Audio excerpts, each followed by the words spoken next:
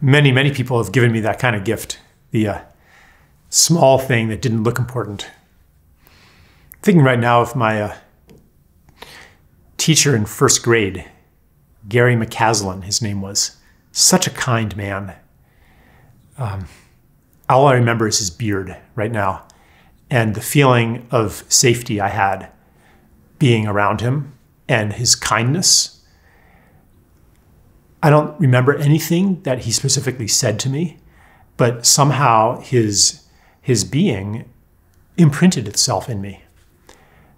Who knows? Without that influence, who knows what I would be doing today? Who knows what kind of asshole I might have turned into if this humble, invisible person, this, this ordinary man, hadn't intersected with my life.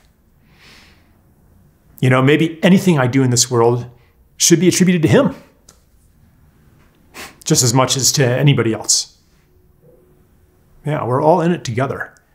Well, I mean, and which role is yours to have? Is yours is your role to be the public speaker? You know, like it's kind of nice, you know, people are telling you how great you are and how important you are and they're celebrating you.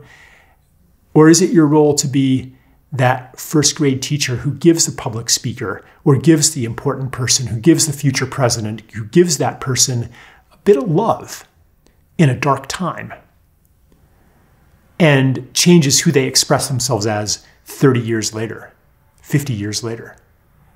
How do you know what your role is? You cannot reason that out. Yet, the knowledge of when to act and how to act is, is given to us. It's just not through the mechanism of the mind, usually. It's through the heart, through the gut, through the bones.